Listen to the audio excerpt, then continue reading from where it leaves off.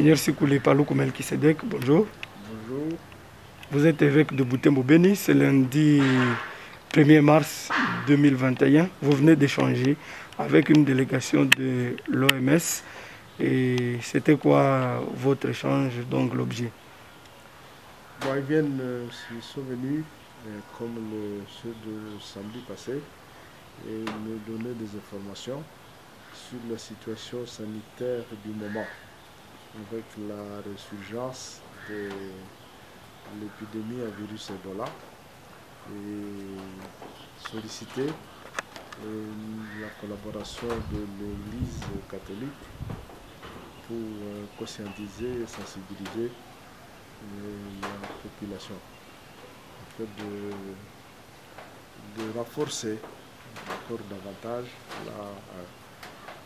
la, protection, commençant par soi-même et pour le bien de toute la communauté et de nos familles.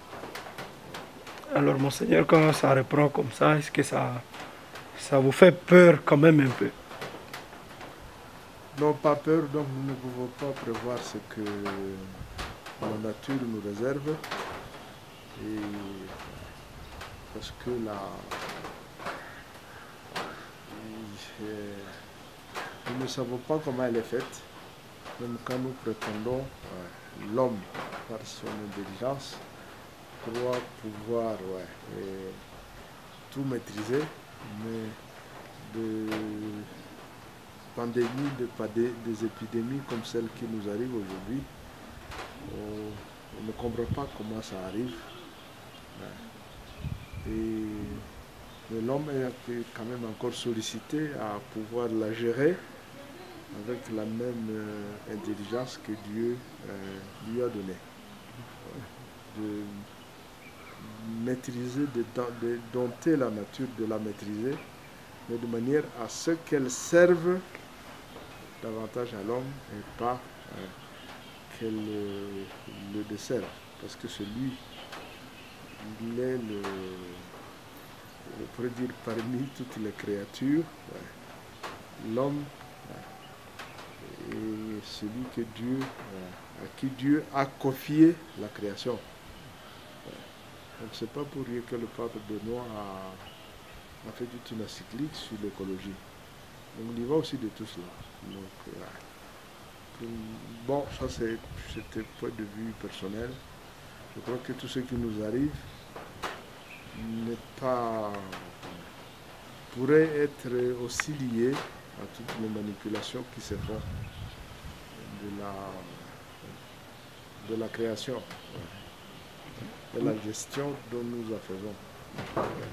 Monseigneur l'évêque, que prévoit l'Église catholique euh, pour cette fois-ci euh, amener les gens à observer les mesures barrières pour que l'épidémie ne se répande pas comme avant?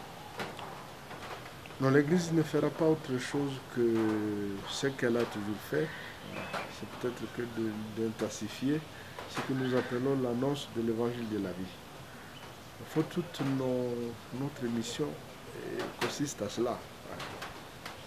Le salut que nous annonçons en annonçant l'évangile, ce n'est pas un salut qui concerne la vie à venir, celle à laquelle nous, c'est celle que nous espérons, la vie éternelle, mais c'est déjà la vie d'aujourd'hui. Et, dont la manifestation, c'est la santé. Si on est en bonne santé, on va dire que je suis vivant. Si vous n'avez plus la santé, c'est que vous êtes mort. Alors là, on peut dire, bon, parce que vous avez l'espérance, bon, c'est la mort vous ouvre à la vie éternelle. Mais nous devons préparer celle-là en soignant, en protégeant, promouvant celle que Dieu nous donne. Nous veiller sur notre santé et en, en respectant toutes les dispositions et les mesures justement que l'intelligence humaine a donné au personnel, aux professionnels de la santé de nous donner à observer. Monseigneur, la fois passée, on avait vu des secteurs comme Ngeleza, ou Chambo fermé pour euh, cette raison d'avoir boudé presque l'évangile de la vie. Ce n'est pas exclu même pour cet épisode ici d'Ebola. Bon, cela peut, arriver lorsque, quand le prophète n'est plus écouté, qu'est-ce qu'il fait? Donc il peut, même Jésus dans l'évangile, il a dit non.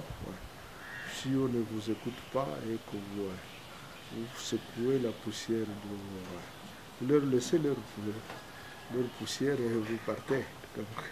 C'est ça ce qui s'est passé avec Ngeleza. Et, et, une fois qu'on l'a fait, ils ont même ceux qui ne voulaient pas comprendre ont compris, parce que pas moins de deux semaines, ils sont revenus pour dire qu'ils demandaient pardon et qu'ils observeraient des mesures qui ne venaient pas de l'Église, mais qui venaient du ministère de la Santé, qu'ils vont les observer, parce qu'il y, y, allait du bien, du bien-être de tous, de la communauté. Monseigneur, vous, vous pensez qu'il faut qu'on isole un peu les endroits qui sont déjà touchés dans le but d'éviter la propagation? Bon, ça ça, ça, ça, ne relève pas de moi.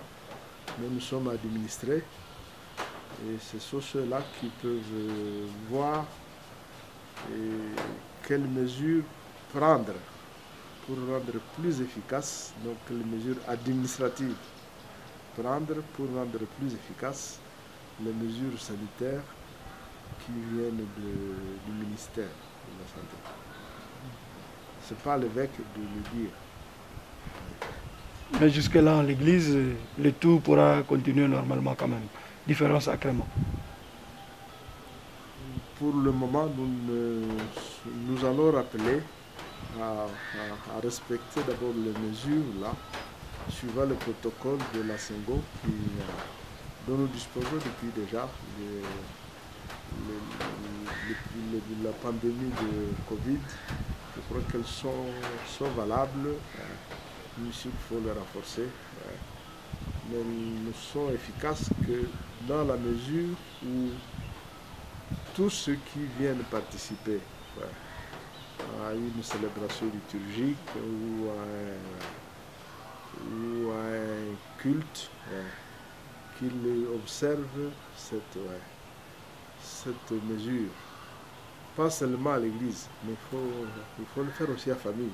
Donc ça veut dire qu'on devrait interpeller les parents, les, les enseignants, les, tous ceux qui ont à travailler avec, de,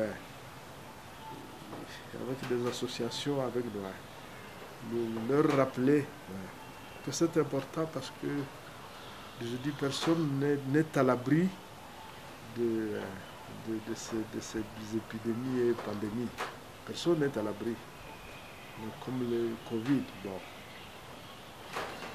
Personne ne peut dire, moi je suis protégé, mais l'Ebola qui ressurgit. Je crois avoir eu des informations. On a dit même ceux qui avaient été vaccinés, il y en a qui qui sont encore victimes aujourd'hui. Donc ça veut dire que rien n'est garanti. D'où l'exigence de, vraiment de se protéger et, et, protéger aussi tous ceux avec qui on vit, ce qu'on rencontre, ce qu'on Alors, Monseigneur, presque pour terminer, on vous a expliqué que le cas là, le premier, est venu d'où? Est-ce que ça a des liens avec euh, le guéri qui, qui serait son mari ou bien bon, est-ce que les experts, le ministre que vous avez, et à qui vous avez parlé samedi ou encore les partenaires de l'OMS J'ai posé la même question, mais on m'a dit que c'est dans cette matière-là, tout n'est pas maîtrisé. on le voit d'ailleurs assez bien avec ce fameux Covid. Apparemment, il n'y avait qu'une souche au point de départ. Maintenant, il y a des mutations, des surmutations. Bon, donc, ouais. Selon peut-être et les personnes, et les régions, et les. Ouais. Donc, je crois que c'est une matière très difficile. Mais là, ce qui nous donne à espérer, c'est que les, les chercheurs continuent toujours son travail pour essayer de, comprendre un peu plus et et d'aider davantage ouais, euh, toute l'humanité. Et pour Ebola, ils n'ont pas dit si c'est venu d'où? Non, dans le cas il y a, ouais, ce qui, je crois ce qui a été dit, c'est qu'il y avait eu un, un guéri, ouais, ouais, dans ce, dans la, parmi les cas, ouais. Mais ne disent pas que c'est que c'est celui-là qui a contaminé les autres, non. En matière de contact, comme on dit, on dit qu'est-ce qui est vraiment contact? Là, vous êtes, nous sommes en contact avec vous.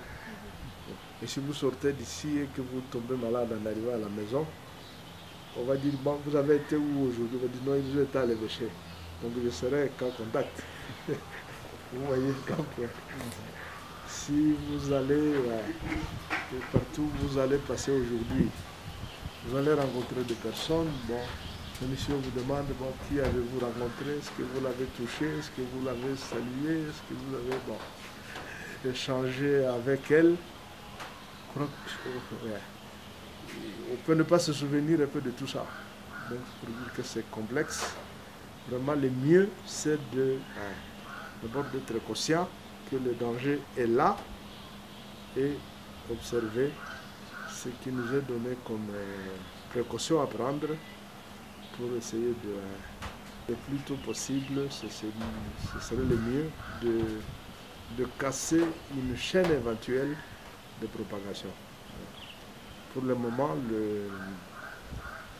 l'épicentre semble être euh, la zone de santé de Biena. Je crois que c'est de là qu'est parti le premier cas. Donc, c'est- déjà ça, mais c'est déjà, on parle déjà à Moussénéné, il y en aurait déjà à Boutembo, il y en aurait à Katoa, ouais. et je crois que vient de me dire peut-être aussi à Butsundo, donc ouais. Donc vous voyez que ça, peut aller très vite si on ne fait pas, ouais, si nous ne prenons pas garde. Ouais. Donc bref, moi je crois que tout cela euh, interpelle la conscience de chacun. Ce ne sont pas des matières pour lesquelles il faut commencer à, discuter et encore moins pour ceux qui, qui ont déjà l'épidémie de monnayer, toute chose ouais, qui ont un lien épidémiologique avec l'argent, qui ne commencent pas à monnayer de nouveau cette, épidémie. cette épidémie. Voilà. Là, vous vous adressez à la riposte ou à la population? À n'importe qui. Alors, monseigneur, Que, que, que ce soit enrichi avec le, avec le voilà. ouais. Voilà, monseigneur l'évêque, merci. Merci.